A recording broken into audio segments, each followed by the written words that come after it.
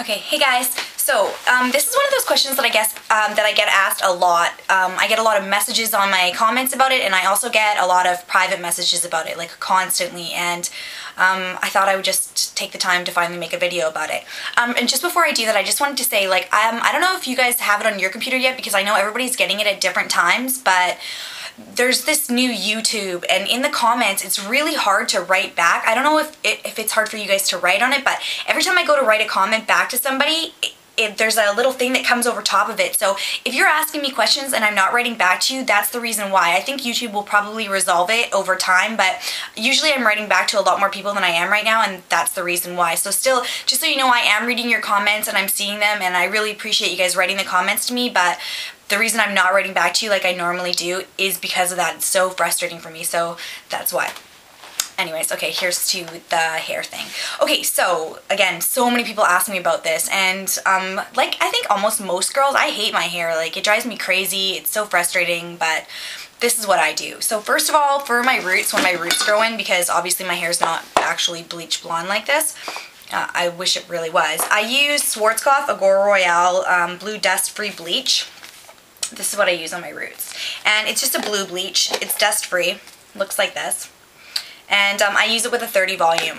I didn't bring the peroxide in here, but um, I use a Igora Royal peroxide from Schwarzkopf as well. So that's what I use for the bleach.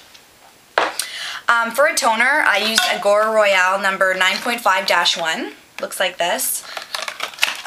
The tube is like this and this is the toner that I always use and I only use this toner when I'm actually when I've just done my roots and I use it all over just to touch up and keep my hair nice and bright in shower because your hair does go yellow if you're as blonde as I am um, every probably about once a week or something like that I use Voila Color Kult um, and you can get this from your stylist probably, or you might be able to find it online. I'm not sure. Um, I get it at the beauty supply. Um, and they also have another thing called, it's called a Revlon Color Ball. And there's like a bunch of things like this, but those are the two that I would say to go for. Um, and this is just like a purple um, this is a purple toner, but it's an in-shower toner. And you just, you put this on your hair after you've shampooed and conditioned for about, actually I put it on not before I've conditioned. I put this on after I've shampooed. You just leave it on for about three minutes. Sometimes I leave it on for a little bit longer and it just brings back your really blonde hair color. But you want to be really truly careful because you can make your hair go gray if you use this too often. So you really don't want to do that. Because like I have actually made my hair go kind of like gray purple looking. So really be careful. Um, and for hair products, I change my hair products all the time. This isn't what I always use. This is just what I'm using like right now and have been using for the past little while. So um, for shampoo and conditioner, I'm using Joico Moisture Recovery Shampoo and Conditioner. They look like this. Um, and if you're in Canada, I get these at the beauty supply, but if you are in Canada, you can get these at Winners. Um, and it's the same, basically it's like the same price. Like I have got these at Winners before because it costs the same at Winners as it does for me at the beauty supply um, and they're I believe like $16.99 at Winners and that's basically the same price that I pay for them. So that's like a really good deal because these are a liter and this is a really good shampoo and conditioner and they also have a ton of different kinds and a ton of different products there so you might want to check that out. It's a really good deal. So I really like Joico products. Um, they're great. The, their hairspray is really good. Their products are really good. You do want to be careful though with their K-Pack series because you can put too much protein in your hair and that'll dry your hair out as opposed to making your hair healthier. So you do want to watch for that. So this is what I use for shampoo and conditioner. Um, okay, for leave-in conditioner, I use, um, this is funny. You know the Tresemme spray and leave-in conditioner? I love the bottle, the the sprayer. It's a, it's a really good sprayer. Oh, I love the smell of leave-in conditioner. But I like the Joico leave-in conditioner better, so I use this leave-in conditioner, but I take the, I took the pump off the, or the, um, the Tresemme, and I just put it on this. So there's a little tip if you like the bottle better. But this is a daily care leave-in conditioner for all hair types. And it also has um, thermal protectants in it as well. So this is good. Um, next thing that I put in my hair is a volume booster. This is a, a liquid bodifying glaze from uh, Chi. And I just spray this all over. I kind of go all around my head. I like the sound effects. Oh, by the way, you can see that the um, the bird is up there now, and I've decided that I'm going to name it Pinky because a lot of people were like, name it Pinky, so Pinky it is. If you guys help me with that name, thank you very much. Um, so yeah, I put a little bit of volume boost in just so you can get like a, a bit of volume, but I have pretty thin hair. It's I have a lot of thin hair, but it's each strand is really thin. So I use this. I like Chi products. Chi products are really good. okay, next thing that I do is I blow dry my hair. Yeah, that's the next thing that I do. Oh, sometimes I use, um, no that's not it. Sometimes I use mousse, but not all the time, but sometimes I do, especially if I'm going to wear um, hair extensions because I feel like they hold the hair extensions in a little bit better. And when I do, I use um, Schwarzkopf Osis. This one. Love it. I really like Schwarzkopf and when I'm working, that's the color line that I use. So, loves it. When I blow dry my hair, and I probably will do a how I round brush my hair video, and ironically I'm having a bad hair today, a hair day today, so this isn't really a good day to be doing a hair video, but what are you gonna do? Um, but anyways, I round brush my hair and I round brush my hair with a big round brush because that's how you get like the most volume. So I dry my hair probably about mm, 80, 80%, maybe just a little bit more than 80%. Then I clip my hair in sections starting at the bottom and I round brush my hair out.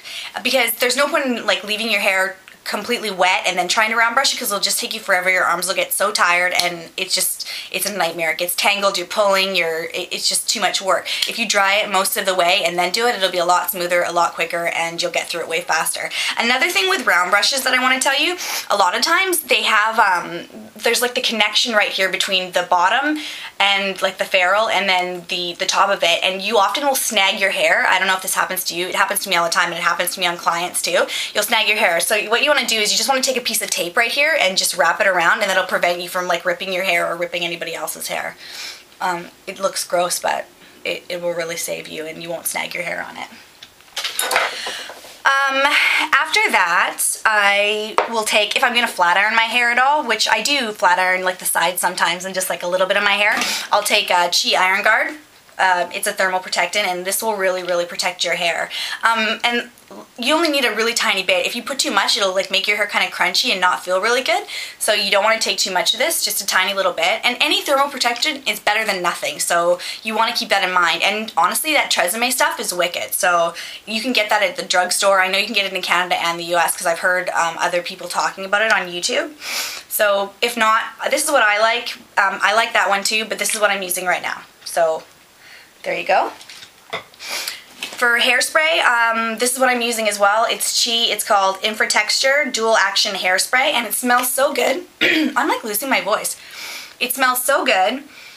Mm, I love it. It's like it's got kind of like a masculine smell. It smells like like guy's cologne almost, but I just I love it so much. And you know what? It reminds me. It reminds me of like going out partying on the weekend. For some reason, that's like really bad. It reminds me of like going out and like hanging out with my friends and having a few drinks because that's when I use hairspray really because I don't really use hairspray too much through the week. But yeah, so this is the one that I'm using right now, Chi. I really like that as well. I guess I use a lot of Chi and Schwarzkopf products, but those are my favorites.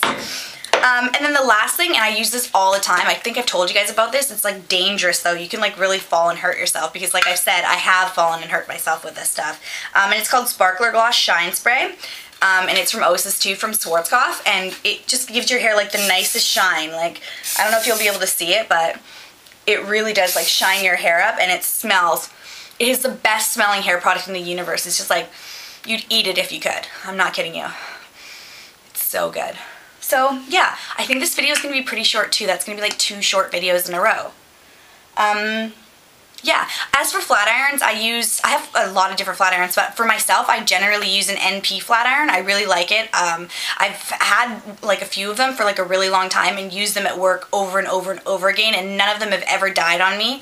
They last a really long time. They're really good. They're really hot. Um, they're ceramic, and that's what I use at home as well. So yeah, that's pretty much it. So I hope this was helpful. I hope that everybody that asked me about this is seeing this video because these are the products that I use at home on myself all the time. That's how I keep my hair really blonde um, without breaking and falling off. And I mean, just like a couple things too. You know, if you're blonde and you're you're just trying to get your roots to just trying to get your roots to be to be blonde. You don't need to dye your whole head blonde every single time. You just need to do your roots, right? So just do your roots and then tone your hair because that's not going to be damaging it. The same as just coloring over and over and over. You don't want to be dyeing blonde over blonde over blonde. That's what's causing the breakage and the brittle blondness. So, um, yeah, anyways, like I said, I hope this helped and I hope you guys are having a great week and I'll see you soon. Peace. Bye.